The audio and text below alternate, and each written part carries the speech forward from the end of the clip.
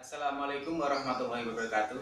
Kembali lagi dengan Sanan Haidri Brampam Oke teman-teman, kali ini saya akan sedikit uh, menunjukkan seperti apa pompa saya yang tipe baru yaitu model SOK2 nah, ini sebelumnya sudah pernah saya tunjukkan uh, dalam video saya yang saya upload beberapa waktu lalu.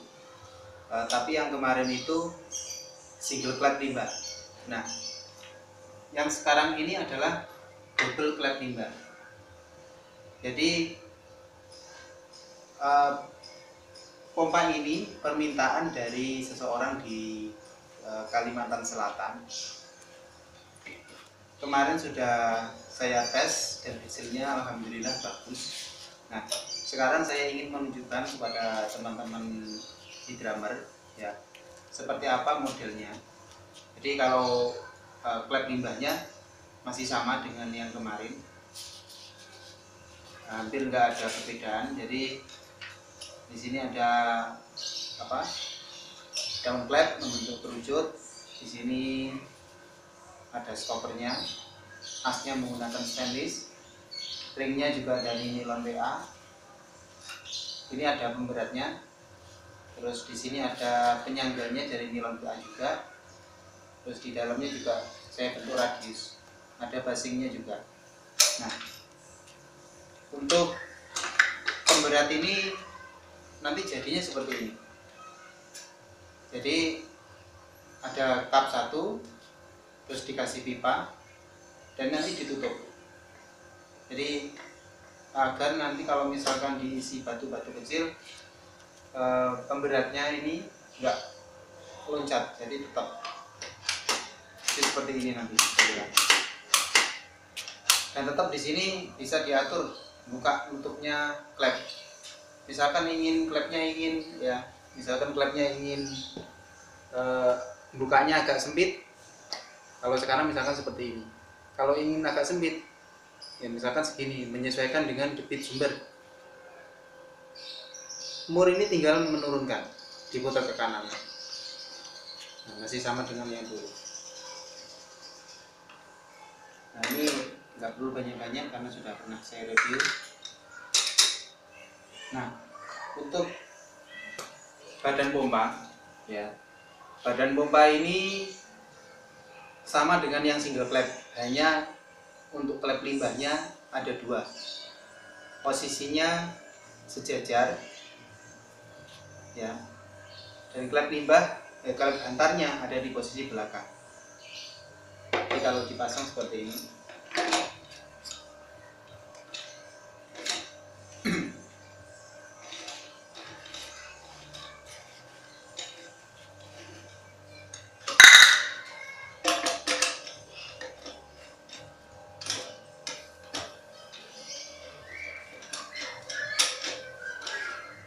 Ini hanya tinggal muter saja karena ini kan dari softgrade jadi mudah untuk bongkar pasangnya nanti.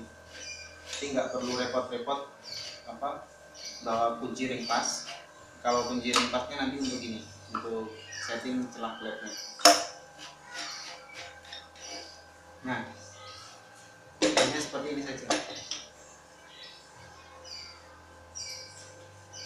Untuk klep hantar kemarin ada yang apa ada yang minta ditunjukkan seperti apa video pembuatannya ya saya nggak bisa memvideokan karena kemarin waktu pembuatan ini saya nggak ada.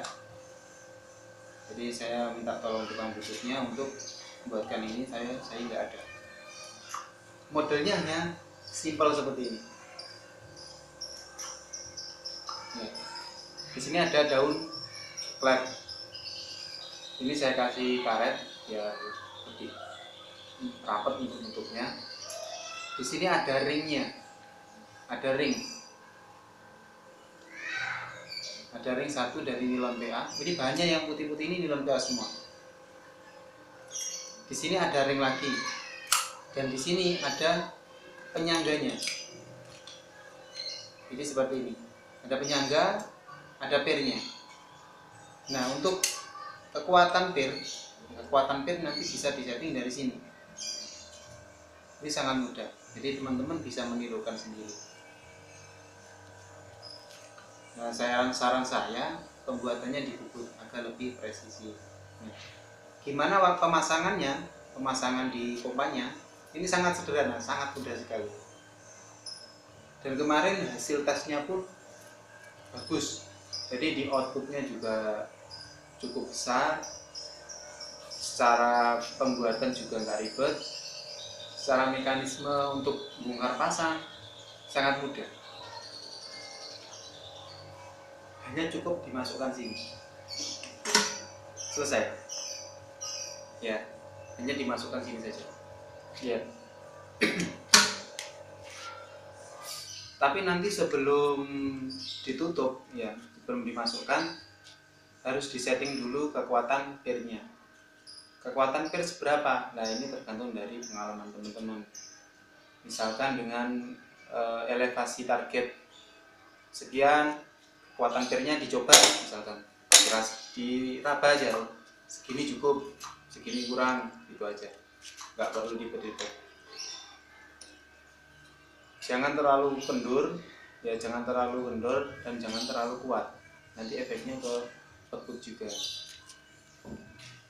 Intinya gini waktu air naik ke tabung ini kan buka setelah tekanan di badan pompa ini hilang klep ini bisa cepat menutup. Nah kalau misalkan pirnya ini terlalu lentur misalkan ya atau mungkin ada hambatan misalkan uh, di penyangganya as ini ada yang nyangkut klep ini enggak segera menutup atau klep uh, pernya ini ini terlalu lentur sehingga klepnya nggak bisa cepat menutup nah air itu akan kembali lagi ke badan pompa tapi kalau terlalu kuat ya bisa segera nutup. Tapi kalau terlalu kuat nanti air ini tekanan yang ditimbulkan pompa ya itu akan melawan gaya dari pir ini terlalu besar sehingga menurunkan debit waktu juga. Dan seharusnya air bisa masih bisa ngalir ini buru-buru nutup. Jadi itu yang perlu uh, diperhatikan dari pengalaman teman-teman sendiri atau mungkin bisa dicoba.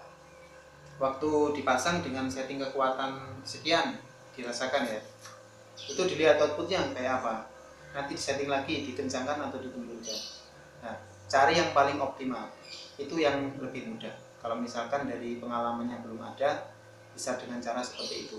Dicoba mulai dari kendor agak kencang kencang kencang kencang. Nah nanti dicatat debit outputnya berapa liter per detik? Itu yang nanti jadi acuan. Nah ini tinggal masukkan ini saja. Yang ini shock berat luar ya. Shock berat luar yang di badan pompa di badan plat 5 ini shock berat dalam ini shock berat dalam. Ini tinggal masukkan. Oke nah kalau sudah tinggal masukkan ini tutup pakai shock berat dalam sekaligus untuk output dan tabung. Kalau di sini tabung saya menggunakan 4 in. Karena nanti ini e, di sana sebenarnya tabung kecil pun nggak masalah. Hanya nanti ada sedikit perbedaan memang. E, kecil pun nggak masalah. Karena saya punya 4 in, saya jadi pasang 4 in juga. Nanti rencananya pompa ini dipasang untuk ke jarak output itu sekitar 400 meter kalau ketinggiannya elevasi nggak terlalu tinggi sih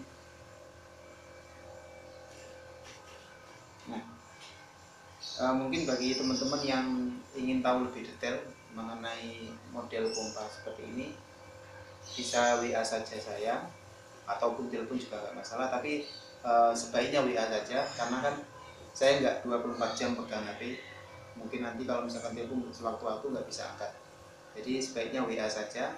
Nanti kalau saya sudah longgar eh, insya Allah saya balas. Ataupun yang ingin eh, nggak ingin ribet ingin beli saja nggak masalah.